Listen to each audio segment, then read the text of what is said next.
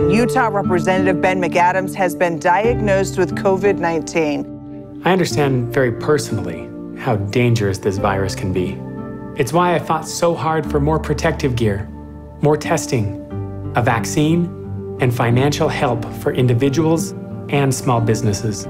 Now more than ever, we need to make healthcare more affordable and cover more people because nothing's more important than your family's health. I'm Ben McAdams. I sponsored this message.